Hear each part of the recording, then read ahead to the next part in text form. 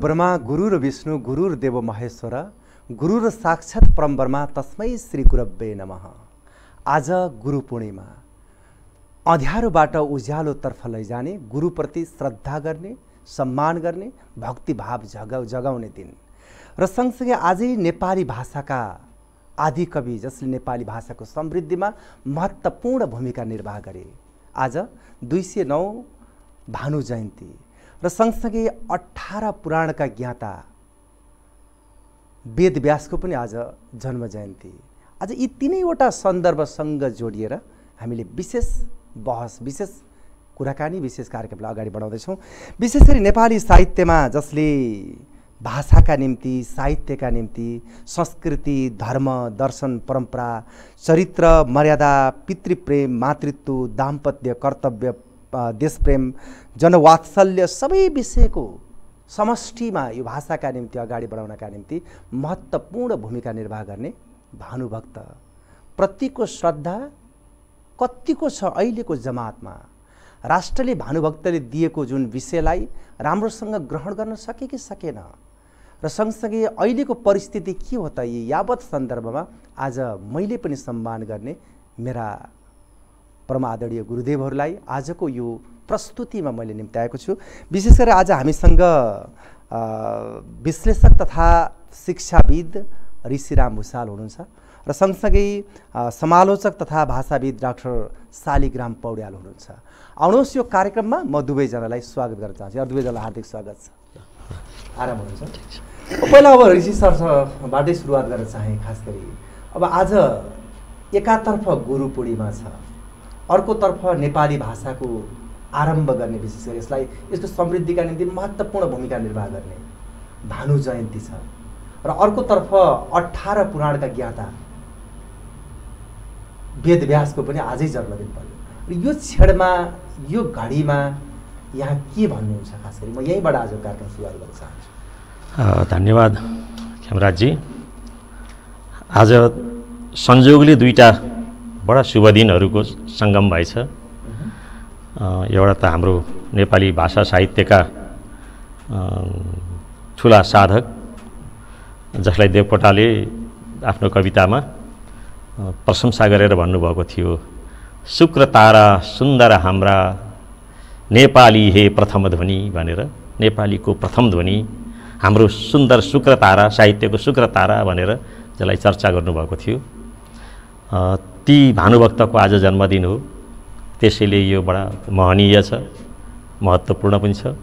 अर्को गुरु पूर्णिमा हाम्रो पुराणहरूका रचयिता हाम्रा ठुला दार्शनिक वेद व्यासको जन्म जयन्ती मानिन्छ। अब विभिन्न मतहरू छन् सबै पुराणहरू एउटै व्यासका होइनन्। त्यसैले व्यास भनेको त अठार पुराण लगायतका अरू केही शास्त्रहरू पनि त्यो लेख्ने मान्छेहरूको त्यो साझा नाम व्यास हो भन्ने आधुनिक मान्यता त्यो पनि छ। तर त्यो भयो भने पनि हामी जुन व्यासको कुरा गरेका छौँ कृष्णद्वैपायन व्यास जसबाट त्यो महाभारत सुरु हुन थाल्यो यिनीहरूको त्यो आरम्भ गर्ने व्यासजी सम्भवतः उहाँ नै हुनुहुन्छ र त्यही नाममा यो राखिएको होला। एक प्रकारले यो संस्कृतिमा थापित होइन एकदम ठ्याक्कै ऐतिहासिक भन्दा पनि। र अझ अर्को फेरि हामी हाम्रो यो विश्वकै एउटा महामानव एउटा मार्गदर्शक गौतम बुद्ध। गौतम बुद्धले वैशाख पूर्णिमामा ज्ञान प्राप्त गरिसकेपछि त्यसपछिको त्यो आफ्नो ज्ञानलाई पहिलोपटक त्यो धर्मचक्र प्रवर्तन शिष्यहरू जम्मा गरेर सिकाउनु भएको र आजै चार आर्य सत्य र आर्य अष्टाङ्ग मार्ग होइन त्यो अष्टाङ्ग मार्गको त्यो आजै देशना गरेको अथवा उपदेश गरेको त्यो दिनको हिसाबले पनि यो बडो महत्त्वपूर्ण मानिन्छ। बौद्ध परम्परा अनुसार पनि त्यो मानिन्छ र त्यसका ती सिद्धान्तहरू नै जुन सुरुमा दिइएका होइन चारवटा सत्यहरू र त्यसपछि गएर अष्टाङ्ग मार्ग। त्यो हिसाबले पनि यो बडो महत्त्वको कुरा छ। जतासुकैबाट हेर्दाखेरि पनि महत्त्वको कुरा हो। र आज हामी विशेष गरेर भानु जयन्तीको प्रसङ्गमा यहाँ बसेको हुँदाखेरि उहाँ गुरुहरू होइन व्यासदेखि लिएर बुद्धसम्मका ती हाम्रा ज्ञानका प्रवर्तकहरू वाहकहरू उहाँहरूलाई सम्मान गर्दै र भानुभक्त ले नेपाली भाषा साहित्यको त्यो उठानमा जुन योगदान गरे त्यस बेला भानुभक्तको त्यो साधनाले जुन महत्त्व भयो त्यो महत्त्वले गर्दाखेरि हामी भानुभक्त भक्तप्रति अनुग्रहित छौँ र भानुभक्त युग युगसम्म एउटा इतिहासमा यो अमिट पात्रका रूपमा व्यक्तित्वका रूपमा रहिरहने व्यक्तित्व हुन्। त्यस अर्थमा आजको दिनको विशेष महत्त्व छ। सन्दर्भ यही हो डाक्टर साहब। खास गरी आजको दिनलाई कसरी लिनुहुन्छ? म यही प्रश्नलाई फेरि जोड्न चाहेँ। आज असार उन्तिस। तिथिको हिसाबले व्यासको जन्मदिन र मितिको हिसाबले भानुभक्त आचार्यको जन्मदिन र भर्खरै गुरु श्रीराम सरले भन्नुभयो गौतम बुद्धले ज्ञान प्राप्त गरिसकेपछि पहिलोपटक ज्ञानलाई उपदेशका रूपमा बाँडेको दिन पनि आज साह्रै महत्त्वपूर्ण दिन छ। अब यसलाई हेर्दाखेरि पहिला हामी व्यासमा जाउँ। व्यासको एउटा परम्परा सरले अघि पनि भनिहाल्नुभयो व्यास एउटा परम्परा पनि हो व्यास एउटा व्यक्ति पनि हो। हामी परम्परा पनि भन्छौँ व्यासलाई जसले त्यति बेला खोज अनुसन्धान गरेर लेखे। त्यो ती लेख्ने खोज अनुसन्धान गर्ने व्यक्तिहरूलाई चाहिँ हामी व्यासको परम्परामा राख्ने गर्छौँ। अब यसरी एउटा हेर्दाखेरि एउटा भारतवर्ष जुन आर्य सभ्यता संस्कृति छ संस्कृत भाषा छ त्यसको सुरुवात गर्ने त्यसलाई खोज अनुसन्धान गर्ने र त्यसलाई प्रकाशमा ल्याउने लेख्ने काम गर्ने व्यास र त्यही संस्कृत भाषाबाट विकास भएको नेपाली भाषालाई उन्नयन गर्ने र त्यो भाषाका माध्यमबाट सम्पूर्ण नेपाली महान जातिहरूलाई एउटा एकताबद्ध गराउने एकीकरणको सूत्रमा बाँध्ने नेपाली साहित्यका महान स्रष्टा भानुभक्त आचार्य दुवैका आज जन्म जयन्तीका सन्दर्भमा हामी आज छलफल गर्दैछौँ। अब यहाँनिर हेर्दाखेरि भानुभक्तले नेपाली भाषाका माध्यमबाट जुन एउटा योगदान दिए त्यसलाई हामी कदापि बिर्सनु हुँदैन। अर्को कुरा व्यासले जुन एउटा हाम्रो पूर्वीय परम्परा पूर्वीय आर्य सभ्यता संस्कृति ज्ञानलाई जुन तिनले दिएका ती ज्ञानहरू ती संस्कृतिहरूलाई अहिले पनि हामीले आत्मसात गरिरहेका छौँ अहिले पनि पढिरहेका छौँ। समग्रमा भन्यो भने विश्व साहित्य नै व्यास परम्पराबाट सिर्जित ज्ञानबाटै अभिसिञ्चित छ। त्योभन्दा बाहिर जान सकेका छैन। एउटा प्रसङ्ग छ इरानका। जराफिस्टले आफू उनले आफूलाई अत्यन्त महान विद्वान ठान्थे व्यासका समकालीन थिए। अनि उनले भारतवर्षमा एउटा विद्वान छ भने सुनिसकेपछि व्यासलाई चाहिँ शास्त्रमा बहस गर्नका लागि निमन्त्रणा गरे र भारतवर्षबाट व्यास इरानमा पुगेर उनीसँग शास्त्रमा बहस गर्दा त्यो जेरफिस्टलाई चाहिँ व्यासले पराजित गरेर आफू विजय भएर भारतवर्षमा फर्केको इतिहास पनि छ। यस अर्थमा यी दुईवटा महान स्रष्टाको जन्मदिन विशेष गरी नेपाली भाषा साहित्यका प्रथम प्रयोक्ता हुन त भानुभन्त भानुभक्तभन्दा अगाडि पनि अरू नभएका त होइनन् तर नेपाली भाषालाई एउटा विकास गर्ने भाषाका माध्यमबाट नेपाललाई एकीकरण एकीकरणको सूत्रमा बाँध्ने ती महान स्रष्टा भानुभक्तको जन्मदिन आज हामी यस सन्दर्भमा चर्चा गर्दैछौँ अब सन्दर्भ भानुभक्तसँगै जोडिएर म अगाडि बढ्न चाहेँ खास गरी ऋषि सर यो आदि शब्द जुन जोडिएको छ नि आदि भनेको आरम्भ हो। जब मोतीराम भट्टले आदि कवि भन्ने भन्दैमा भानुभक्तलाई आदि कवि मान्नुपर्ने किन भन्ने प्रश्न पनि उठेको थियो। यो सन्दर्भलाई जोडिदिनुहोस् त खास। अ, सो जो शब्दमा हेर्ने भने आदि भनेको पहिलो होइन त्यो एकदम फर्स्ट वान होइन? त्यो तर मोतीराम भट्टलाई पनि थाहा थियो भानुभक्तभन्दा अगाडि पनि कविहरू थिए। मतलब कविता लेख्ने मान्छेहरू अरू थिए भन्ने पनि थाहा थियो। थाहा हुँदा हुँदै उनले त्यो किन लेखे? जसरी संस्कृतमा वाल्मिकीभन्दा अगाडि पनि कविहरू थिए। किनभने एकैचोटि कुनै भाषामा त्यत्रो काव्य आउँदैन अगाडिको पूर्वाभ्यास नभइकन। अनि तै पनि उनलाई आदिकवि भनिन्छ संस्कृतको। भानुभक्तको मामलामा जस्तो त्यसलाई अलि फैलाउने हो भने हृदय चन्द्रसिंह प्रधानले भने जस्तो आदि प्रतिनिधि कवि भन्छन् के भने? नि आदि प्रतिनिधि कवि अथवा नेपाली समाजमा अरू कसैले त्यो पछि खोजेर वरेर अनुसन्धाताहरूले अनुसन्धान गरेर वरेर ल्याइदिएको कवि त्यस्तो नभएर त्यो साक्षरदेखि निरक्षरसम्म त्यो जनमानसमा भानुभक्तको रामायण छापिनुभन्दा अगाडि नै पनि एक किसिमले फैलिसकेको होइन परिचित भइसकेको र सम्मानित भइसकेको नेपाली जनजीवनमा स्वतः त्यसरी व्याप्त भइसकेको त्यस्तो किसिमको नेपाली जनताले चिनेको भन्नुहोस् न त्यो पहिलो कवि हो। त्यस अर्थमा त्यसलाई अलि त्यो शाब्दिक अर्थमा भन्दा लाक्षणिक अर्थमा हेर्दाखेरि त्यस अर्थमा पहिलो कवि भानुभक्तलाई भन्दाखेरि त्यो कुनै आपत्तिजनक त्यस्तो किसिमको देखिँदैन।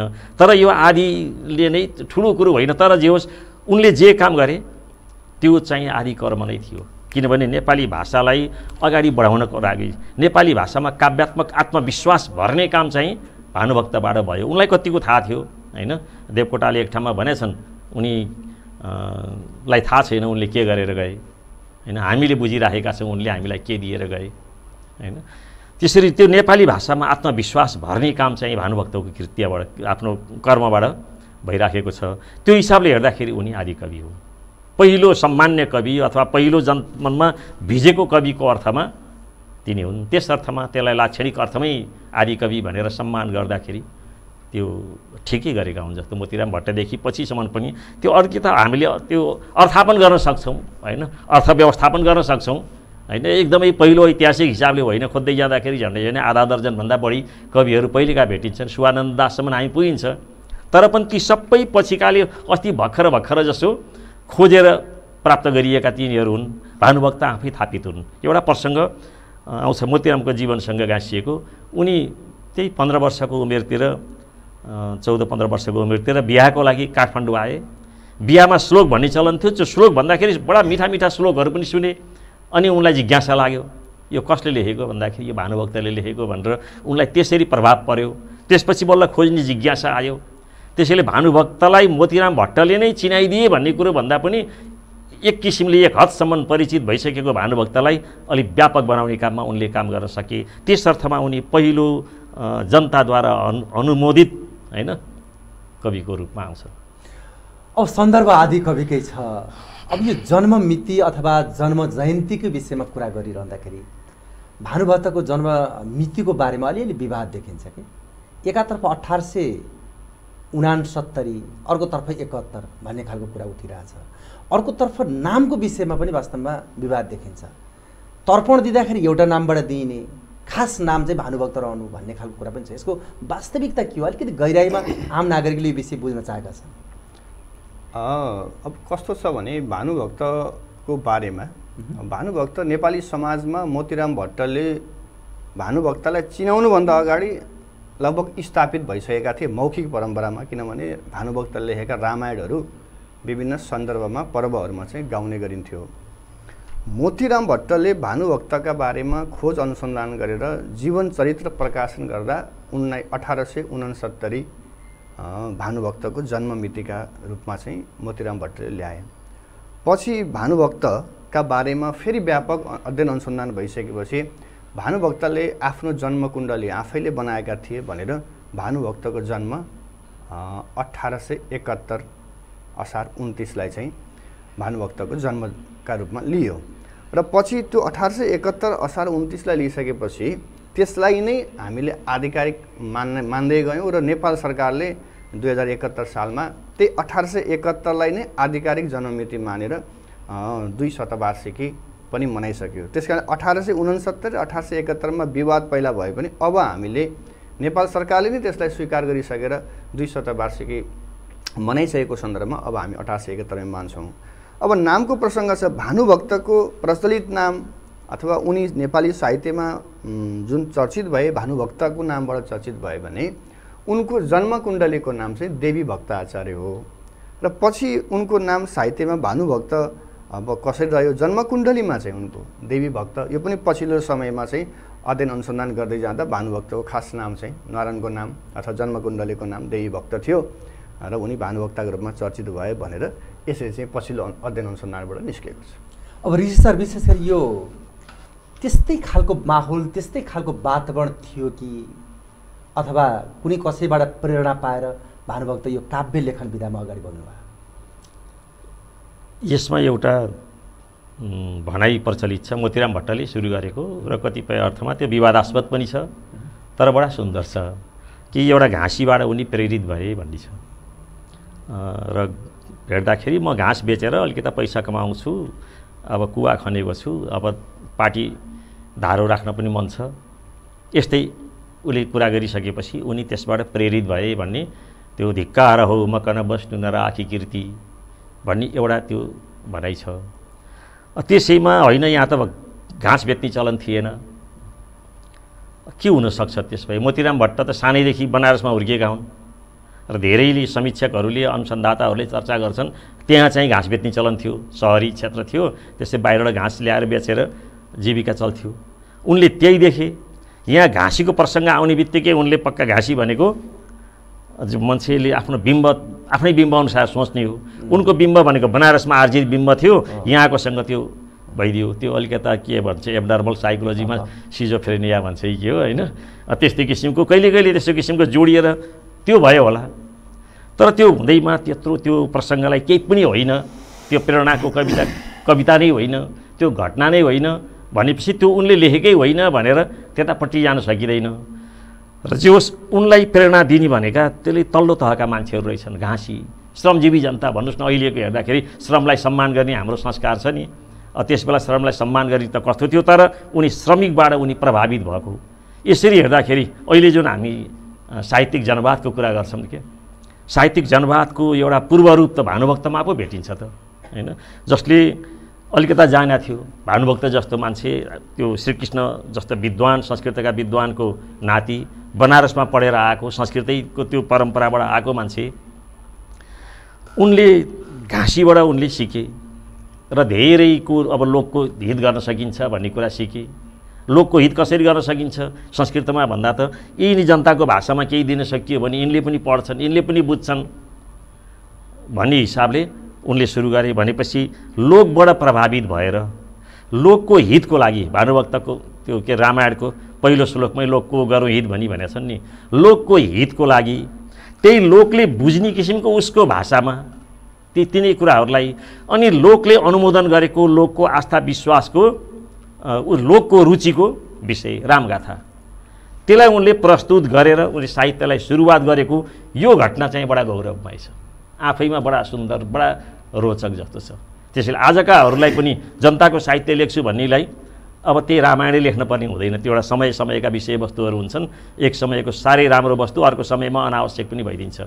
तर अहिलेकाले पनि कमसेकम त्यो देश यहाँका देशवासी जनताहरू यिनीहरूको आवश्यकता यिनीहरूको त्यो आकाङ्क्षा यिनीहरूको भावना र त्यसपछि यिनीहरूले ग्रहण गर्न सक्ने किसिमको भाषा शैली सौन्दर्य यसरी हामीले केही नयाँ कुरा आजको सन्दर्भमा दिन सक्छौँ भन्ने कुराको बडा सुन्दर त्यो सन्देश त्यो घटनाले यसमा दिएको छ। त्यस अर्थमा हेर्दाखेरि उनी उनको प्रेरणा चाहिँ घराइसी प्रेरणा हुँदो हो। खास गरी बाउहरूको भन्दा पनि हजुरबाउको प्रभावको धेरै चर्चा आउँछ विद्वान भएको नाताले। र त्यसलाई पनि अझ मलजल दिने काममा चाहिँ त्यो घाँसीसँगको त्यो एउटा सामान्य मान्छेले निर्धन मान्छेले पनि केही राम्रो काम गर्न सकेको कीर्ति राख्न सकेको देखेपछि मैले पनि केही कीर्ति राख्छु। त्यो कीर्ति कसरी हुन्छ त भन्दाखेरि लोकको हित गर्ने कामबाट हुनसक्छ भन्ने हिसाबले त्यसरी उनले सुरु गरेको त्यो बडा सुन्दर प्रसङ्ग लाग्छ नेपाली इतिहासको। जस्तै डाक्टर साहब यो जुन सन्दर्भ सरले भन्नुभयो नि घाँसी र भानुभक्तको विषय अलि बढी गम्भीर रूपमा चर्चा हुने गर्छ कि? त्यति बेलाको सन्दर्भ घाँस बेच्ने भन्ने हुँदै हुन्थेन। हुन त सरले यसलाई बिम्बको रूपमा जुन जोड्नु भएको छ बिम्बात्मक हिसाबले यो प्रस्तुत गर्न सकिन्छ भनेर। यसको अझै गहिराइमा बुझ्दाखेरि वास्तविकता के हो? अब यो घाँसीको प्रसङ्ग चाहिँ आयो। भानुभक्तको साहित्य रचनाको प्रेरणाका रूपमा घाँसी सरले भर्खरै भन्नुभयो एउटा मोतीराम बनारसमा बसेको त्यहाँको परम्पराको त्यो बिम्ब उसको मस्तिष्कमा थियो त्यसलाई उनले चाहिँ यतापट्टि प्रयोग गरे।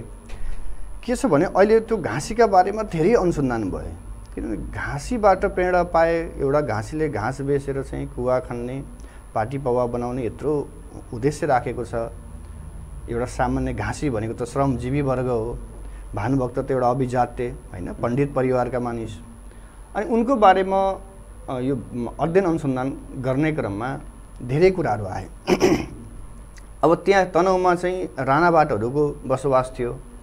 अब गिरिधारी भाट भानुभक्तका प्रमुख शत्रु नै हुन्। मुद्दासम्म उनले हालेको सरकारी जागिर हुँदा भन्नेसम्म अध्ययन भएको छ। अनि त्यहाँ नरनारायण राणाभाट भन्ने व्यक्ति घाँसी थिए लक्ष्मीनारायण पन्त भन्ने व्यक्ति घाँसी थिए खड्गबहादुर मगर भन्ने मान्छे घाँसी थिए। भन्ने यी तिन किसिमका नामहरू तिन प्रकारका नामहरू घाँसीका सन्दर्भमा अहिले आएका छन्। र जुन घाँसी कुवा जुन कुवा त्यो घाँसीले खनेको कुवा थियो त्यो भानुभक्त ससुराली जाने क्रममा बाटामा घाँसीसँग भेट भएको हो। र उनी ससुराली जाने क्रममा बाटामा घाँसीसँग उनको विषयमा केही कुराकानी भानुभक्तले घाँसीसँग कुराकानी गरेको प्रसङ्ग छ। पछि त्यो राजमार्ग निर्माण हुने क्रममा चाहिँ त्यो कुवा चाहिँ पुर्यो त्यति बेलाको वास्तविक कुवा चाहिँ छैन। अहिले पछि बनाइएको मात्रै हो। है कुवा मेटियो। त्यस कारण यो घाँसीका यी व्यक्तिहरू पनि अहिले अनुसन्धानबाट यस्ता थिए। त्यहाँ दरै बस्ती थियो। त्यस कारणले दरै जातको कुनै व्यक्ति थियो होला भन्ने पनि छ। यी अब यसलाई चाहिँ हामीले सत्य स्वीकार गर्नुपर्छ। अब यो मिथका रूपमा नेपाली समाजले यसलाई ग्रहण गरिसकेको छ। तर यसलाई अब हामीले आधुनिक तरिकाबाट कसरी व्याख्या गर्नु पऱ्यो भने तत्कालीन समयमा संस्कृत भाषामा लेखिन्थ्यो साहित्य। अभिजातीय वर्गको बारेमा साहित्य लेखिन्थ्यो। अभिजात वर्गका व्यक्तिहरूलाई पात्र बनाएर साहित्य लेखिन्थ्यो।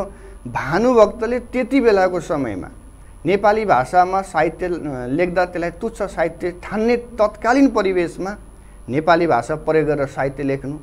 अभिजात वर्गलाई पात्र बनाएर साहित्य लेख्ने क्रममा एउटा श्रमजीवी होइन एउटा मजदुरको विषय लिएर कविता लेख्ने त्यो काम भानुभक्तले गरे त्यो महान कार्य हो। त्यस कारणले त्यति बेलाको समयमा अभिजातीय वर्गको बारेमा साहित्य लेख्ने सन्दर्भमा सरल नेपाली भाषामा श्रमजीवी मजदुरको साहित्य लेख्ने भानुभक्त त्यति बेलादेखि नै प्रगतिशील विचार राख्ने व्यक्ति हुन्। समाज रूपान्तरणका लागि उनले अभियान सुरु गर्ने व्यक्ति हुन्। हामीले यसरी लिनुपर्छ भन्ने लाग्छ र घाँसीको प्रसङ्ग चाहिँ अब यो मिथ बनिसक्यो यसलाई समाजले स्वीकार गरेको छ।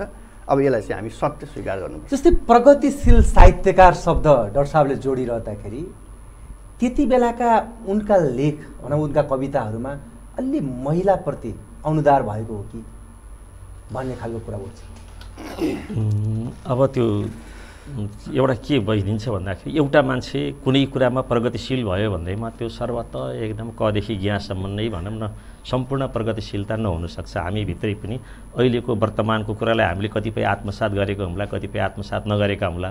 होइन? सम समग्र त्यस्तो किसिमको त्यो के त्यस्तो खारिएको ज शिरदेखि पैतालासम्म नै दुधले नुहाएको मान्छे खोजेर भेटिन्न। हामीले बनाएका देउताहरूमा त खोड देखिन्छ भनेपछि हामी त आफै नै त्यही हो होइन? त्यो हिसाबले हेर्दाखेरि सम्पूर्ण त त्यस्तो निर्दोषपना भेटिँदैन। र भानुभक्तको त्यो हेर्दाखेरि केही कुरामा भानुभक्तको त्यो क्रियाशीलता त्यो प्रगतिशील देखिन्छ। प्रगतिशीलता भनेको समयले निर्धारित गर्ने कुरा पनि हो कि? कुनै कुरा एक समयको प्रगतिशील हुन्छ अर्को समयमा त्यो गइसकेपछि प्रतिगामी पनि भइदिन सक्छ। समयले त्यसलाई निर्धारित गर्ने हो। त्यस बेलाको भानुभक्तको प्रगतिशीलता भनेको एउटा त केही विषयगत हिसाबले हेर्दाखेरि पनि भेटिन्छ। भानुभक्तको समयमा विद्वानहरूले नेपाली भाषालाई खस भाषा खसेको भाषा भ्रष्ट भएको भाषा खलित भाषा यो किसिमले त्यसलाई गर्थे। खस भनेर खस जातिको भाषा भनेर त्यसरी होइन। बिग्रिएको भाषा भन्ने अर्थमा प्रयोग गरिन्थ्यो। अनि संस्कृतमा बोल्नु संस्कृतमा उपदेश गर्नु त्यो कुरा त्यहाँ विद्वताको कसी मानिन्थ्यो। तर भानुभक्त आफै संस्कृतका विद्वान थिए। तर उनले नेपाली भाषा रोजे त्यस बापतमा एकजना कविले त त्यो संस्कृतमै गाली गरेछन् के? लम्फा मरहती भानुभक्त कविराण मध्ये सभाम धीमताम भनेको कवि नाम गरेको भानुभक्त नाम गरेको त्यो कविको भडुवाले विद्वानको सभामा लोप्पा खान्छ। किनभने यस्तो त्यो त्यो महान विषयलाई सबै भरिया सरिया हरेक निरक्षर होइन अब त्यो दलित त्यस बेलाको भाषामा अछुत होइन सबको लागि यसले साझा बनाइदियो भनेर उनले गराए। अहिले जुन बाहुनवाद बाहुनवाद भनेर कराउँछन् नि त्यो हिसाबले हेर्दाखेरि त नेपालीमा भाषिक बाहुनवादको विरोध त पहिलो भानुभक्तले गरेका हुन् होइन किनभने त्यो ब्राह्मणहरूको भाषा भनेको संस्कृत नै थियो मान्ने भाषा थियो यो खस भाषा थियो। भने त्यो खस भाषालाई रोजेर त्यो त्यो ब्राह्मण वर्चस्वको त्यो भाषालाई उनले परित्याग गरेर यतापट्टि जाने काम उनले संस्कृतलाई अपमान नगरिकन नेपाली भाषालाई सम्मानित गर्ने काम उनले गरेका हुन्। त्यस हिसाबले यी कुराहरू प्रगतिशील कुराहरू हुन्। त्यो हिसाबका अनि सुरुमै तपाईँले भन्नुभयो अब पारिवारिक मान मर्यादा पति पत्नीको सम्बन्ध भ्रातृ सम्बन्ध पितृभक्ति यस्ता किसिमका कुराहरू भलै ती त सबै रामायणका विषयवस्तु हुन् भानुभक्तले त्यहाँ ल्याएका हुन्। भानुभक्तले ती कुराहरूलाई चुने। राणा शासनको बेलामा कमसेकम आदर्श रामराज्यको कुरा चुने उनले होइन? यी कुराहरू ठिकै छन्। र त्यो चुन्ने क्रममा वधु शिक्षा भनेर एउटा लेखे अर्कोतिर त्यो शङ्कराचार्यको प्रश्नोत्तरमाला भनेर अर्को कृतिको तिनले अनुवाद गरे। हो त्यहाँ केही आपत्तिजनक कुराहरू। अहिलेको हिसाबले हेर्दाखेरि अनि त्यो बेलामा पनि कमसेकम यति साह्रो त नभनिदिया पनि हुन्थ्यो। भन्ने जस्तो त्यस्तो किसिमको लाग्छ। त्यो शङ्कराचार्यको त्यो प्रश्नोत्तरमालामा हेर्दाखेरि छ ठाउँमा कि सात ठाउँमा त्यहाँ म नारीहरूलाई गाली गरेका छन् कि? नरकको ढोका कुन हो? नारी हो। र नसा जस्तो त्यो त्यो लट्ठ्याउने चिज कुन हो? नारी हो। कुबाटोतिर लैजाने के हो? नारी हो। त्यो किसिमका धेरै श्लोकहरू छन् त्यसमध्ये पाँच छ ठाउँमा नारीहरूलाई गाली गरिरहेको छ। तर त्यहीँ फेरि के अरे जिउँदै मर्याएको भनी नाम कसको? उद्यम बिना वित्त छ काल जसको? त्यो पनि छ त्यहाँ होइन? त्यो हिसाबले हेर्दाखेरि हामीले के हेरौँ भन्दाखेरि आम मुख्य विचारधाराको मामलामा भानुभक्त आफ्नो समयको औसत विचारधाराका मान्छे हुन्। धेरै अग्रगामी नयाँ विचार निर्माण गर्ने नयाँ विचारको निर्माता सम्वाहक त्यो भनेर भानुभक्तलाई माथि राख्यौँ भने तिनी एकदम पछाडिएको देख्नुपर्छ हामीले। त्यो त्यो दुर्घटना देख्नुपर्ने हुन्छ। भानुभक्त त्यो समयको औसत विचारका मान्छे हुन्। थापित त्यस बेलाको शासन सत्ताका एकदम विरोधी होइनन्। तर त्यो प्रशासनले मान्छेमा ल्याउने पीडाहरू शासन र प्रशासन मैले फरक गरेको छु होइन? त्यो सिङ्गो शासन व्यवस्थाका त्यो विरुद्धमा त्यो चेतना नै थिएन। त्यो भानुभक्तले किन त्यो दर्शन ल्याएन किन चेतना ल्याएन भनेर भानुभक्तसँग जम्मै कुराको सवाल माग्ने हाम्रोसँग अधिकार पनि हुँदैन इतिहासमा होइन? अनि त्यति बेलाको समाज अलिकति नारीलाई हेर्ने दृष्टिकोण त्यो यो भएको मैले। म त्यहीँ आउँदैछु। भानुभक्तको विचार भनेका त्यस बेलाको नेपाली समाजका विचारहरू हुन्। त्यसैले अबको विषयमा अहिले हामीले नारी समानताको कुरा गर्ने मान्छेहरूले अहिले हामीले कुरा गर्दाखेरि भानुभक्तका कृतिहरूबाट त्यो भानुभक्त भन्ने एउटा मान्छेले यस्तो भनेको थियो होइन। त्यो समयको नेपाली जनमानस यस्तो थियो। भानुभक्तले मात्रै होइन कि भानुभक्तको श्रीमतीको पनि सोचाइ त्यही हो। भानुभक्तको आमाको पनि बहिनीहरू हुँदा हुन् बहिनीहरूको पनि नारीको त्यो विचार सँगसँगै खेलिराखेका हुन्छ। त्यस बेलाको विचारको कुरा हो। त्यो किसिमको आम प्रचलित त्यो परम्परा धर्मले थापित गरेका त्यो मान्यतालाई त्यो नाघेर त्यसमा प्रश्न चिन्ह उभ्याउने गर्ने त्यो एक त परम्परा पनि थिएन भानुभक्तभन्दा अलि थोरै कान्छा ज्ञानदिल दासले अलिक छुट्टै किसिमले उनले नाघेर गएका छन्। त्यो वैचारिक हिसाबमा उनी अलि अगाडि छन् र आम नेपाली जनमानस त्यस्तो थिएन भानुभक्त औसत मनस्थितिका मान्छे व्यक्ति हुन्। त्यही मनस्थितिभित्र रहेर हक्की पाराले जीवनका केही त्यसो किसिमका सन्दर्भहरू प्रशासनका विकृतिहरू लगायत यी कुराहरूको उनले आलोचना गरे। भाषामा मैले अघि भने नि त्यो एउटा संस्कृतको त्यो एकाधिकारलाई गराएर बहुसङ्ख्यक नेपालीले बुझ्ने त्यो भाषामा उनी आए। यी कुरा प्रगतिशीलका कुरा हुन्। तर ती कुराहरूलाई चाहिँ उनले त्यो लेखे त्यसलाई नेपालको इतिहासको रूपमा हेर्नुपर्छ भानुभक्तको सीमा पनि त्यही हो। होइन? त्यहाँभन्दा अगाडि उनी थिएनन् र त्यो उनको मात्रै होइन। उनले नयाँ विचार बनाएर सिद्धान्त बनाएर अब नारीहरूलाई यसरी हेर्नु भनेको यो होइन। बनिराखेका विचारहरू शङ्कराचार्य जस्ता मान्छेमा प्रश्न चिन्ह उभ्याउन अहिले त मान्छेहरूले गाह्रो मान्छन्। अहिले हामीले केही भन्यौँ भने बडा आफूलाई बडा विद्वान भनेका भन्छन् होइन? त्यो त्यस बेलाका सीमाहरू भानुभक्तमा पनि थिए। यसरी हेर्नुपर्ने हुन्छ। त्यसैले सम सर्वत प्रगतिशील।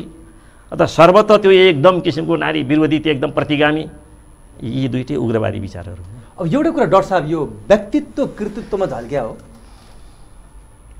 अब कस्तो छ भन्दाखेरि नि अब सरले भनिहाल्नुभयो व्यक्ति स्रष्टा जहिले पनि समाज सापेक्ष हुन्छ। समाज हुँदा निरपेक्ष चाहिँ रहँदैन। ऊ आफू बाँचेको समाज त्यो युग होइन उसले त्यो युगबाट समाजबाट उसले जुन भोगेका अनुभव अनुभूतिहरू छन् ती साहित्यमा उसले व्यक्त गर्ने हो। अब वधु शिक्षामा उनले नारीका बारेमा जुन दृष्टिकोण राखेका छन् त्यति बेलाको समाजमा नारीप्रति हेरिने दृष्टिकोण त्यही थियो। भानुभक्तले त्यसलाई चिरेर फड्को मार्न सकेनन्। तर नेपाली समाज अहिलेसम्म आइपुग्दा हाम्रो जुन संस्कार संस्कृति जुन एउटा अनुशासन जुन मर्यादा छ नि त्यसमा भानुभक्तको वधु शिक्षाले केही सपोर्ट चाहिँ गरेको छ। किनभने हामी आफ्नो संस्कारमा बस्नुपर्छ। हाँस्नु राम्रो हो नि त। हाँस्नै हुन त भानुभक्तले भनेका छैनन्। तर मानिसहरू बसेको ठाउँमा गएर छिल्लिएर हाँस्नु त अहिले पनि त अशोभनीय हुन्छ नि त। त्यति बेला भानुभक्तले शब्द थोरै फरक परे गरे होलान्। अहिले पनि हामीले हेऱ्यौँ भने मानिसहरू बसेको ठाउँमा मुसुक्क हाँस्नु राम्रो छ तर एउटा सभ्य सभामा चाहिँ छिल्लिएर हाँस्नु त अहिले पनि अशोभनीय छ होइन? त्यो हिसाबले त्यसरी पनि हेर्नु पऱ्यो भानुभक्तलाई। अब जस्तै रामायण भानुभक्त रामायणबाट उनले जुन एउटा भ्रातृत्व प्रेम देश प्रेम होइन? एउटा आदर्श दाजु दाजुभाइको प्रेम भक्तिपरायणता होइन? सीताको त्यो पतिभक्ति त्यति बेलाको त्यो समाज त्यो त्यहाँका जनताहरूको उत्तरदायित्व होइन? अनि त्यसपछि जनताप्रति शासकको वफादारिता उत्तरदायित्व जिम्मेवारी कर्तव्य होइन? ती कुराहरू लिएर आएर नेपाली समाजलाई चाहिँ उनले एउटा आदर्श सिकाउने चाहिँ काम गरे। अब वर त्यति बेला वधु शिक्षा भानुभक्तले लेखे वर शिक्षा पनि लेख्नु पर्थ्यो जस्तो लाग्छ मलाई है? युवाहरूको लागि। रामायण लेखे होइन? रामायणमा जुन एउटा भ्रातृत्व प्रेम देश प्रेम आदर्श सीताको त्यो पति भक्ति रामको पत्नी भक्ति होइन? रामको जनताप्रतिको जिम्मेवारी यी कुरा त अहिले पनि त अभाव छ त। त्यति बेला चाहिँ त्यो नेपाली समाजलाई ल्याएर यस्तो गर्नुपर्छ भनेर एउटा आदर्श समाज परिकल्पना त्यति बेलाको समाजलाई आदर्श समाजमा आदर्श स्थापना गर्नका लागि भानुभक्तले यो योगदान पुऱ्याएको त्यति बेलाको आजभन्दा दुई सय नौ वर्ष अगाडि जन्मेका भानुभक्तले होइन? लगभग लगभग डेढ सय वर्षको अगाडि चाहिँ लेखेको कृतिलाई ल्याएर अहिले आएर भानुभक्तप्रति गाली गर्नु चाहिँ त्यो अन्याय हो। गाली गर्नु चाहिँ मिल्दैन। अब अलिकति दृष्टिकोणको कुरा गरौँ। जब गणतन्त्र आयो नि गणतन्त्र आइसकेपछि जनताको अधिकार भन्ने शब्द हामी जोड्छौँ। नेपाली भाषाको समृद्धिमा यति ठुलो योगदान पुर्याएको व्यक्ति भानुभक्त जसका बनाइएका शालिगहरू तोडिए। अहिलेको समाज अहिलेको जमात भानुभक्तप्रति अनुदार हो भनेर बुझिन्छ? समग्र समाजको हिसाबले त त्यसो भन्न मिल्दैन। होइन नेपाली जनताले त्यत्रो सङ्घर्ष गरेर लोकतन्त्र ल्याए त्यसपछि राजतन्त्रकै विरुद्धमा पनि उठे होइन गणतन्त्र पनि आयो। तर के हुँदो रहेछ भन्दाखेरि इतिहासमा त्यो जब समाजमा क्रान्ति हुन्छ र क्रान्ति भनेको त्यो पहिले परम्परादेखि लिएर उभिराखेका ती खडा गरिएका केही बारहरू जसले उसको यात्रा छेकिराखेका हुन्छन् ती बारहरू भत्किन्छन् नयाँ बाटाहरू खुल्छन्। तर कस्तो हुँदो रहेछ भने त्यो क्रान्तिले जुन खोलिदिन्छ बाटो त्यो अवरोधलाई भत्काइदिन्छ नि। त्यसपछिको त्यो बाटो खुल्दाखेरि त्यो क्रान्तिका नायकहरू क्रान्तिका सत्पात्रहरूको लागि मात्रै होइन कि। त्यो क्रान्तिका त्यो खलपात्रहरू त्यसपछि त्यो खलनायकहरूको लागि पनि त्यो बाटो खुल्दो रहेछ। जब सबै ठाउँमा जहाँ पनि हुन्छ। होइन कुनै एउटा एउटा नयाँ कानुन बन्छ एउटा नयाँ स्वतन्त्रता आयो। त्यो स्वतन्त्रता भनेको सज्जन मान्छेको लागि मात्रै स्वतन्त्रता भइदिने भने त समाज त सत्ययुग हुन्थ्यो। होइन अब हामी आज भानुभक्त भन्दैछौँ राम राज्य हुन्थ्यो केही प्रसङ्गहरू अप्रिय होला न अहिलेकोमा। होइन त्यस्तो हुँदैन। त्यहाँ त्यो खलपात्रहरूको लागि पनि बाटो खोलिदिन्छ। हाम्रो त्यो अहिलेको लोकतन्त्रले होइन अथवा गणतन्त्रले त्यस्ता पात्रहरूलाई पनि ल्याइदिएको हुन्छ। एकातिर त्यो देशलाई यसरी बनाऊँ देशलाई सङ्गठित तरिकाले अझ एकीकृत गरेर लैजाऊँ भन्ने भावना पनि भइराखेका हुन्छ। विघटनकारी तत्त्वहरू पनि त्यहाँ सँगसँगै खेलिराखेका हुन्छन्। त्यो रामचन्द्र भट्टराईले काला सर्पहरू मरे तर हरिया सर्पहरू जिउँदैछन् भनेर कविता लेख्नु भएको छ कि। त्यस्ता धेरै हरिया सर्पहरू पनि निक्लिराखेका हुन्छन्। त्यसैमा त्यो उयोले भानुभक्तका शालिगहरू फुट्छन् होइन? कोही बडा अनावश्यक कुनै योगदानै नभएका मान्छेहरूका कसैको नातागोताको हिसाबले त्यो शालिग जुड्छन्। कोही यो त्यो सामान्य किसिमको अलिकता यो आत्महत्या गरेका गरेका मान्छेहरू त्यो सामान्य यसो कोही परिचय बनाउँदैमा गरे भन्दैमा एकदम आजका बडा एकदम लोकप्रिय भनिएका मान्छेहरू त्यस्ताको शालिग पछि लागिराखेका हुन्छन्। त्यस्ता त्यस्ताले शालिग पाउने अनि बनिराखेका शालिगहरू भत्किने होइन भानुभक्त भत्किनु पर्ने पृथ्वीनारायण शाह भत्किनु पर्ने। यी कुराहरू भनेका त्यसलाई त्यसै गरी बुझ्नुपर्ने हुन्छ हरेक क्रान्तिले जुन बाटो खोल्छ त्यसमा खालि नायकहरू मात्रै हिँड्दा रहन्छन्। त्यो लुके छिपेका खलनायक खलपात्रहरूको लागि पनि बाटो खोलिन्छ। त्यसैले इतिहास जहिले पनि बडा सतर्कताका साथ खबरदारीका साथ जानुपर्ने त्यो के भन्छन् एउटा फ्रान्सको भोल्टायरले हो कि कसैले भनेका छन्? लिबर्टी भनेको के हो त भन्दाखेरि इटर्नल भिजिलेन्स भनेर भन्दा रहेछन् कि अनन्त पहरेदारी के? Eternal vigilance is the bliss of liberty हो के भन्छन् कि? अनि त्यो लिबर्टी मुक्तिको स्वतन्त्रताको त्यो प्रसाद भनेको के हो त भन्दाखेरि त अनन्त पहर खबरदारी हो। अलिकता खबरदारी अब त भयो क्रान्ति आयो अब त ठिक हुन्छ भनेर हामी झिमिक्क गऱ्यौँ भने त्यहाँ केही दुर्घटना घटिहाल्छ। त्यसरी घट्या घटना हुन् जस्तो मलाई लाग्छ है। अब यो शालिग विस्थापित र स्थापितको जुन प्रसङ्ग अहिले चलिरहेछ होइन थप यसमा तपाईँ के जोड्नुहुन्छ? अँ, अब सरले त यसलाई स्पष्ट पारिहाल्नु हो। मेरो पनि आफ्नो दृष्टिकोण।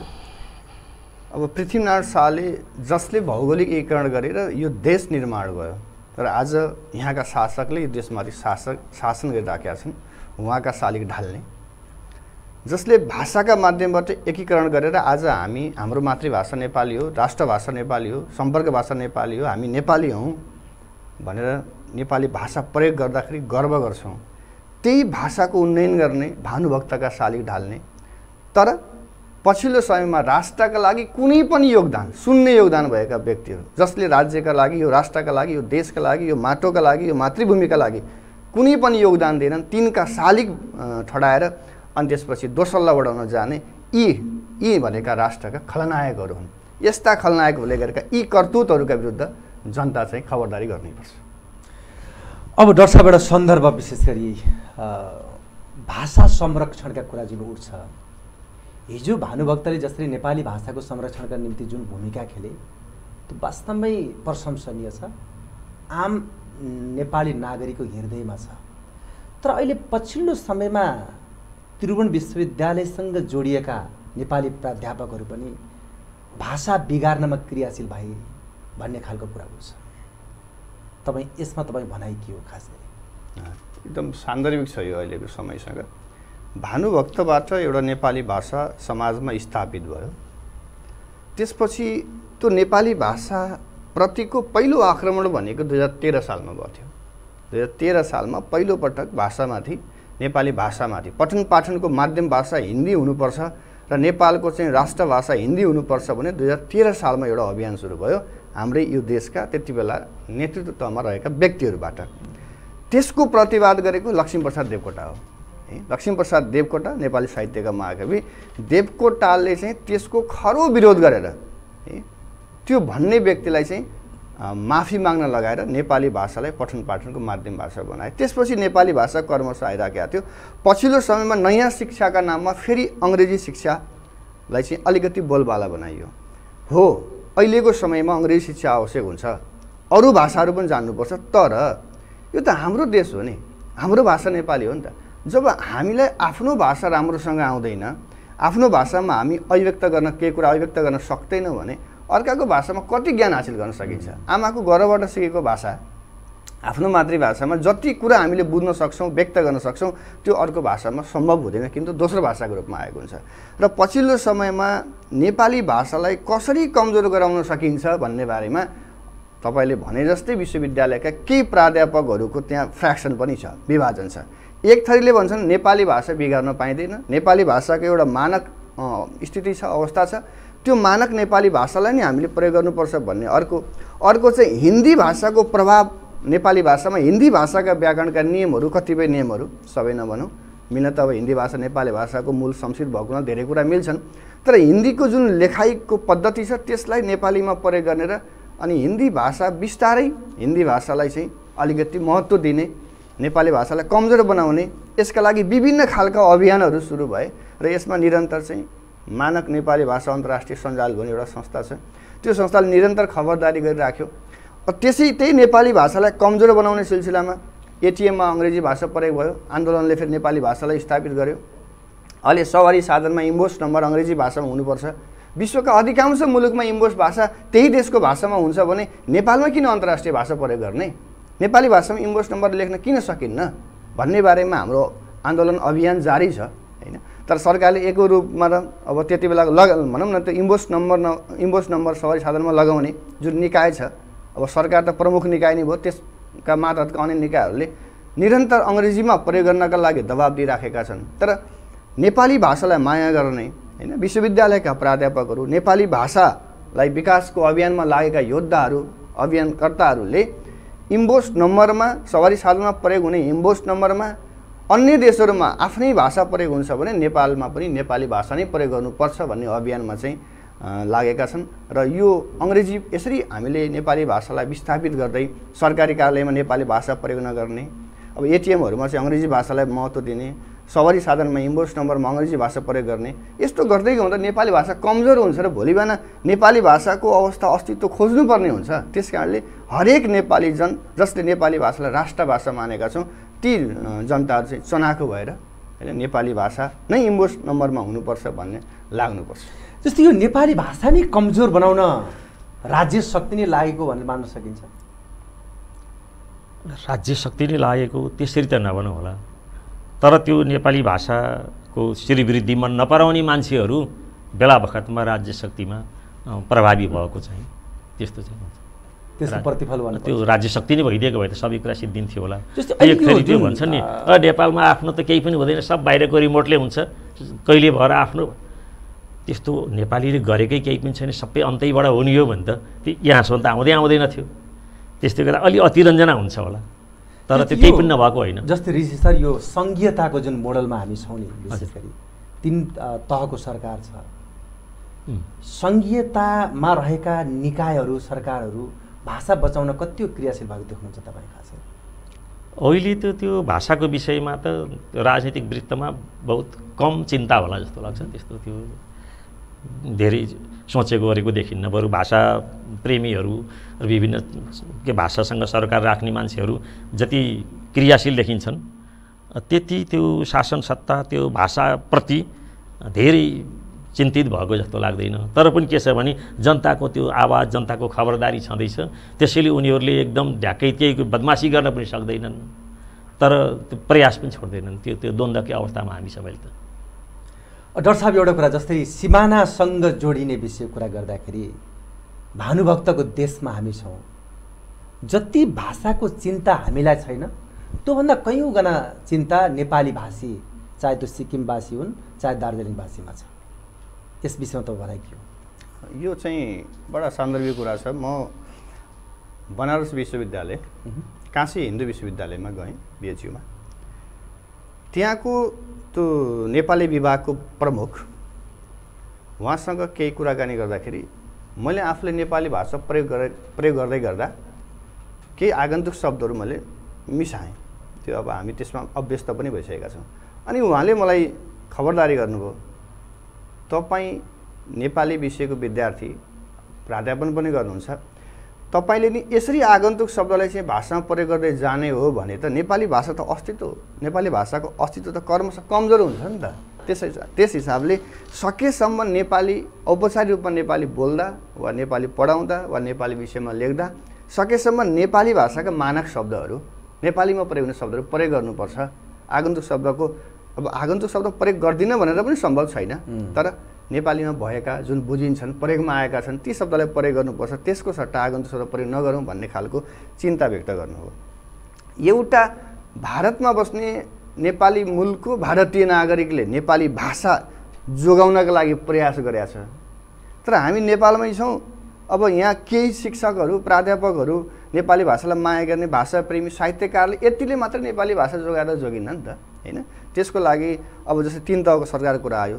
सङ्घीय सरकार छ प्रदेश सरकार छ स्थानीय सरकार छ। यिनले पनि भाषा हरेक क्षेत्रमा प्रयोग हुने भाषाहरूको संरक्षणका लागि नीतिगत रूपमा त निर्णय गर्नु पऱ्यो नि त। एउटा भाषाको बारेमा अध्ययन अनुसन्धान गरौँ भन्ने भने यहाँ बजेट चाहिँ विनियोजन हुँदैन। है ल लुम्बिनी प्रदेश एउटा उदाहरण लुम्बिनी प्रदेशमा कतिवटा भाषा बोलिन्छन् यहाँको भाषाको अवस्था के छ भन्ने बारेमा हामी अनुसन्धान गरौँ भनेर प्रदेश सरकारसँग भन्न जाने भने अहिले बजेट छैन हजुर पछि गरौँला। आले टाले कुराहरू हुन्छ। किनभने हामी त भाषा कुरा गर्दैछौँ नि त। भाषाको संरक्षण यसको विकासप्रति त्यस्तो चिन्ता चाहिँ देखिँदैन। त्यो चाहिँ यो सामान्य हामी प्राध्यापकहरू शिक्षकहरू आम नागरिक त्यसपछि साहित्य प्रेमीहरू भाषा प्रेमीहरूको मात्रै चिन्ता छ। अरू त्यति चिन्ता लिएको चाहिँ देखिन्न यो अब यही सन्दर्भ म रिजी सरलाई सोध्न चाहेँ। तपाईँ थुप्रै मिडिया कर्मीलाई पढाएको व्यक्ति पनि हो चाहे त्यो रेडियोमा काम गरून् चाहे टेलिभिजनमा काम गरून् चाहे पत्र पत्रिकामा काम गरून् यहाँले नै वास्तवमा ज्ञान दिएका शिक्षा दिएका व्यक्तिहरू अहिले कलम चलाउँदैछन् अहिले बोल्दैछन् या केही न केही कुरा गर्दैछन्। तर मिडिया कर्मीहरू मिडिया कर्मीहरू वास्तवमा भाषा संरक्षणमा कतिको भूमिका खेलेको देख्नुहुन्छ तपाईँ खास गरी? यो ठ्याक्कै जे हो त्यो बताइदिनुहोस्। यो भाषालाई मिडियाले पनि बिगारेको छ। त्यो पहिला त्यो एफएमहरूले बिगारेका थिए। एकदम भर्खर भर्खरका आला काँचा त्यो के अलि रुखो भाषा बोल्न थियो ठेट्ना भन्छन् नि। आला काँचा तिनीहरू आयो अरे उनीहरूले एकदम शब्द ठिक तरिकाले जाने छैनन् वाक्य गठनको ढाँचा जाने छैनन् अनि त्यहाँदेखि मिक्स एउटा खच्चड भाषाको प्रयोग यो किसिमको त्यो विभिन्न त्यो एफएमहरूबाट पनि बिग्रिँदै गइरहेका थियो। अब अहिले आइसकेपछि फेरि त्यतापट्टि अब अनलाइनमा आउनु थाल्यो नि। त्यो अनलाइन पत्रिक पत्र पत्रिकाहरू यिनीहरूले पनि भाषालाई बडो ध्वस्त बनाइराखेका छन्। त्यसो गर्दाखेरि मिडिया अलि सजग हुने हो भने त नेपाली भाषाको त्यो ठुलो काम त्यहाँबाट के शुद्धाशुद्धिको त्यो भाषाको आफ्नो मौलिकताको आफ्नो स्वत्वको भनौँ न स्तरीयताको मानक रूपको धेरै काम त्यहाँबाट हुनसक्थ्यो मिडियाबाट नै हुन सक सकिरहेको छैन। धेरै गाह्रो होइन। हामीले त्यो छ हजार सात हजार आठ हजार अङ्ग्रेजी शब्द हामीले घोकेकै हो नि। होइन? सिएटी क्याट क्याट माने बिरालो आरएटी ऱ्याट ऱ्याट माने मुसो भनेर घोकेरै हामीले जानेको हो। त्यो हिसाबले हेर्दाखेरि नेपाली भाषालाई शुद्ध गराउनको लागि करिब करिब हजार बाह्र सय बढीमा डेढ हजारै भनौँ न ती शब्दलाई अलिकता ख्याल गरेर थोरै नियमहरूलाई हेरिदिने हो र सबभन्दा पहिला आफूमा सङ्कल्प हुनु पऱ्यो म बडा स्तरीय राम्रो र शुद्ध एउटा मानक नियमअनुसारको भाषा लेख्छु। त्यो लेख्ने मान्छे हुँ म मेरो व्यक्तित्व त्यो हो भन्ने त्यो महत्त्वाकाङ्क्षा त्यो चासो मनमा भइदिने हो भने यो भाषा राम्रो हुन्थ्यो तर मिडियाले गर्न सकिरहेको छैन। तपाईँहरू शुद्ध लेख्नुहुन्छ त्यो थोरै अब त्यो त्यसको त्यो सिङ्गो त्यो तपाईँहरू जस्ता दुई चारजनाले गरेर मिडियाले नै गरेछ भनेर त्यसलाई जेनरलाइज गर्न सकिने अवस्था चाहिँ त्यस्तो छैन। अब डाक्टर साहब आमा नभन्दा मम्मी भनिँदैन खास गरी। एउटा जन्मने बच्चाले नेपाली जुन जन्मभूमिमा जन्मिसकेपछि उसले पहिला सिक्ने भनेको त्यही नै हो। तर अहिलेको परिस्थितिमा जे छ अब के गरिनुपर्छ? अब के छ भन्दाखेरि अब नयाँ आमाहरूबाट पनि भाषा बिगारिया छ। नयाँ आमाहरूबाट। बच्चालाई चाहिँ आफ्ना शरीरका अङ्गहरू सिकाउने क्रममा अनि तिम्रो नाक खोइ भनेर भन्नुको सट्टा तिम्रो नोज खोइ भन्ने। है। हो। जबकि आमाको काखबाटै उसलाई आफ्नो मातृभाषा सिकाउनु पर्ने ठाउँमा हामी आमाको काखबाटै अर्को भाषा बच्चालाई सिकाइरहेको छौँ। नाक भन्ने बच्चाले बुझ्दैन नोज भन्यो भने देखाउँछ। है एक भन्यो भने बच्चाले बुझ्दैन वान भन्यो भने बुझ्छ। भनेपछि आमाले आफ्नो काखमै बच्चा छँदा आफ्नो भाषालाई सिकाउनु पर्ने त्यो भाषामा राम्रोसँग त्यो भाषा प्रयोग गर्न सक्ने बालबालिकालाई बनाउनु पर्ने ठाउँमा यी आमाहरूबाटै भाषा बिग्रिया छ। है पहिलो चाहिँ यो हामी अब सुधार्नुपर्ने अवस्था पनि छ। अर्को कुरा भाषा अर्को कहाँ बिगारेछ भने नेपाली जसरी लेखे पनि हुन्छ भन्ने एउटा चिन्तन छ क्या। यो नेपाली भाषालाई माया नगर्नेहरू। नेपाली भाषा प्रेमी इतर व्यक्तिहरूको जसरी लेखे पनि हुन्छ सरकारी कार्यालयबाट एउटा निस्कने आधिकारिक लेटर हेडमा एउटा लेटर एउटा पत्रमा चाहिँ पचासौँ गल्ती भेटाएर मैले आफैले सामाजिक सञ्जालमा पनि पोस्ट गरेको छु। पछि त्यो लेख्ने व्यक्तिले मसँग माफी पनि माग्नु भएको छ। भनेर सार्वजनिक रूपमा माफी माफी माग्नु भएको छ किनभने मैले कमेन्ट गरेको थिएँ होइन। एउटा सरकारी कार्यालयबाट निस्कने एउटा आधिकारिक पत्रमा हामी शुद्धसँग नेपाली भाषा लेख्न सकिरहेको अवस्था छैन होइन। हामी अर्काका भाषामा चाहिँ खुब जान्ने भएछौँ भने घुर्के लगाउँदै हिँड्छौँ। आफ्नो भाषा नजानिकन म कोम भन्ने कुरा मैले नचिनेसम्म त अर्काको बारेमा त मैले केही पनि जान्न सक्दिनँ। त्यस कारण म कोम मेरो भाषा के हो?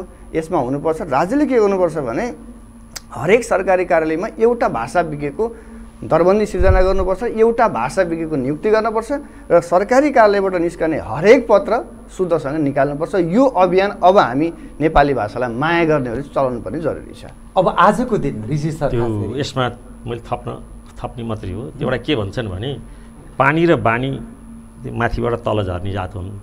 तलबाट त्यो पानीलाई माथि लानु पऱ्यो भने बहुत धेरै ठुलो फोर्स हुन्छ तै पनि धेरै जाँदैन। त्यही यही कुरा त्यही सत्तामा बस्ने शासन प्रशासनमा बसेका माथिका मान्छेहरूले बोलिदिने हो भने त्यो बडो राम्रो हुन्छ होइन? त्यही चाहे त्यो आमा होस् अथवा त्यो आमाको ठाउँमा त्यो मम्मी आएको होस् वा मम होस् होइन? आफ्नो त्यो तोते बोल बोल्दै गरेको बच्चाले अब यो नोज भन्दाखेरि आमा बडा मक्ख त्यो आमाहरूमा गुलामी के? त्यसलाई माथिबाटै सुरु गर्नुपर्ने हुन्छ। अनि हाम्रो जस्तो जन्मदिन हामी मनाउँछौँ बर्थडे बत्ती निभाएर बर्थडे जब बत्ती निभाएर जसको त्यो जन्मोत्सव सुरु हुन्छ यो बाहिरबाट आएको जस्ता हाम्रो त बत्ती बाल्ने थियो नि।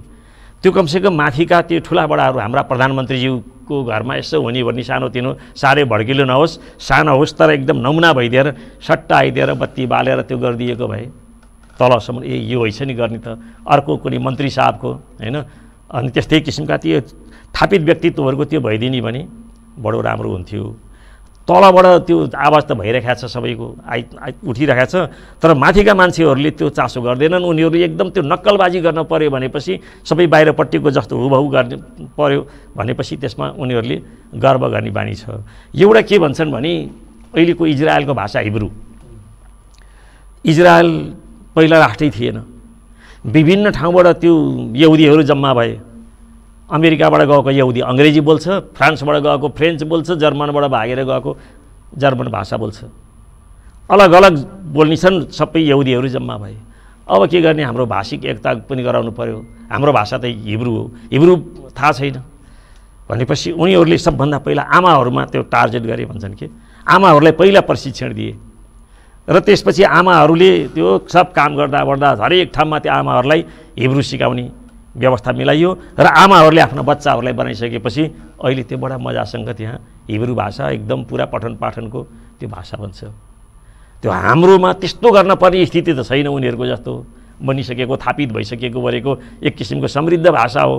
तर अहिलेको त्यो विकृतिहरूलाई यसरी त्यो ठिक ठाउँमा ल्याउनको लागि कतिपय ठाउँमा केही अगु हाम्रा अगुवाहरू चाहिँ त्यसमा नमुना बनिदिने भने धेरै सजिलो हुन्थ्यो। यति धेरै खत गर्न पर्ने भनाइको मतलब बोलेर मात्र लेखेर मात्र भएन हामीले गर्ने क्रिया हो। पनि भाषा जोगाउने अँ। जस्तै आज यो भानुको जन्म जयन्तीको दिन मात्र माल्यार्पण गरिन्छ केही कार्यक्रम गरिन्छ अरू बेला खासै सम्झिन्न भन्ने खालको गुनासो आउँछ डाक्टर साहब यसमा के भन्नुहुन्छ यस्तो छ अब भानुभक्तलाई अब हामी जो हामी यो शिक्षण प्राध्यापन पेसामा छौँ भाषा साहित्यमा सेवा गर्नेछौँ यी आम हामी व्यक्तिहरूले चाहिँ भानुभक्तलाई कहीँ न कहीँ आफ्नो रचनामा होस् वा बोल्दा होस् वा पढाउँदा होस् कहीँ न कहीँ भानुका बारेमा चाहिँ हामी चर्चा चाहिँ गरिरहेका हुन्छौँ। तर समग्रमा असार उन्तिस भानुभक्तको जन्म जयन्तीका रूपमा चाहिँ देशैभरि मनाउने गरिन्छ। अब यो परिपाटी यस्तै छ।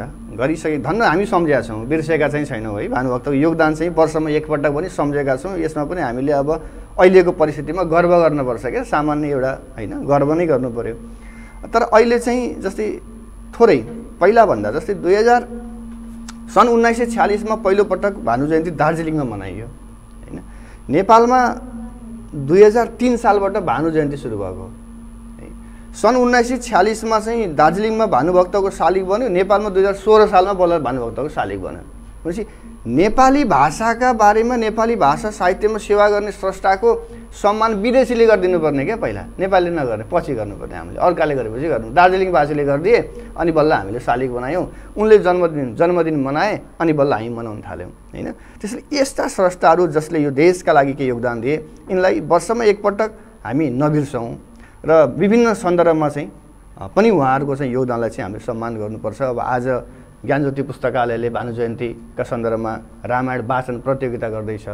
सिद्धार्थ साहित्य परिषदले भानु जयन्ती मनाउँदैछ। त्यहाँ विभिन्न स्रष्टाहरू चाहिँ आज सम्मानित हुनुहुन्छ। मेरो आदरणीय गुरु पनि आज सम्मानित हुँदै हुनुहुन्छ। त्यहाँ पुरस्कार सम्मानको कार्यक्रम छ।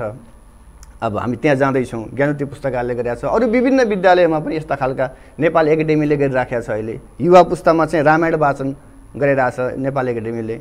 यस्ता खालका क्रियाकलापहरू गरेर भानुभक्तलाई जे अहिलेको पुस्ताले सम्झेको छ। हामी गर्व गर्नुपर्छ। एकदमै अन्त्यमा छौँ हामी। सर्वप्रथम गुरुदेवलाई हार्दिक बधाई पनि छ किनकि यहाँको योगदानको उच्च मूल्याङ्कन र कदर गर्दैछ सिद्धार्थ साहित्य परिषदले। हामीलाई पनि गौरवको विषय गर्नु धन्यवाद। जे हामी बोल्न सिक्यौँ यहाँको प्रेरणा पनि हो। हामीले यो पनि भन्नुपर्छ। अन्त्यमा निचोडमा यो बुद्ध सामुदाय टेलिभिजन जहाँ सामाजिक सञ्जालको माध्यमबाट पनि हामीलाई हेरिराख्नु भएको छ। निचोडमा तपाईँ के भन्नुहुन्छ? अब भानुभक्तको विषयमा त हामी विस्तृत चर्चा गऱ्यौँ। त्यहाँबाट सुरु भएको चिज हो। त्यही चिज दोहोऱ्याइँदैन।